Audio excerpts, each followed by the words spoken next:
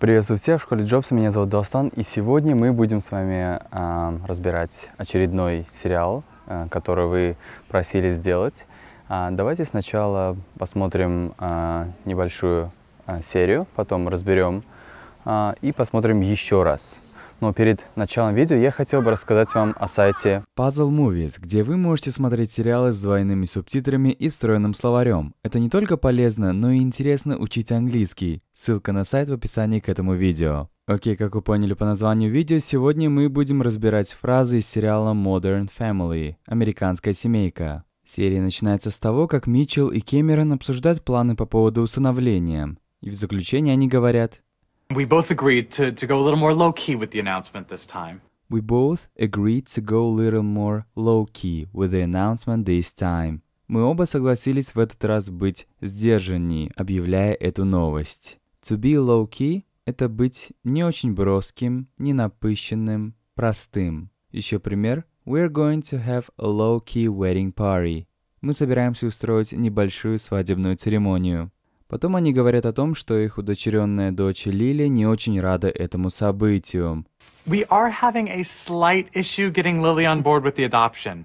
We are having a slight issue getting Lily on board with the adoption. У нас тут проблемка небольшая. Мы не можем добиться радости от Лили по поводу усыновления. To get somebody on board with you — это дословно затащить кого-то с собой на борт. Но на самом деле означает убедить или сделать так, чтобы другой человек согласился с вами. В сериале Лили не хочет братика и злится, когда об этом даже идет речь. И они хотят, чтобы она дала согласие и была этому рада. Cam, I'm a little freaked out about what Lily did. Cam, I'm a little bit freaked out about what Lily did. Кэм, я немного обеспокоен тем, что сделала Лили. Как видите, у них не прошла идея с ребенком их друга, и Лили, ревнуя, бьет и заставляет ребенка плакать. Митчелл говорит, что он freak out. To be freaked out переводится как волноваться или паниковать в нашем случае. Do I coddle her more than any other loving parent? Do I cuddle her more than any other loving parent? Балую ли я ее больше других любящих родителей? Cuddle – нянчиться, баловать, кутать.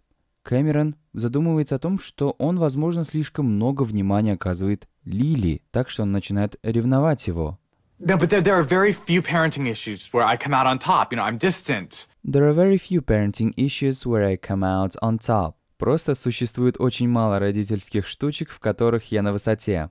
On top имеется в виду на высоте в сравнении с кем-то.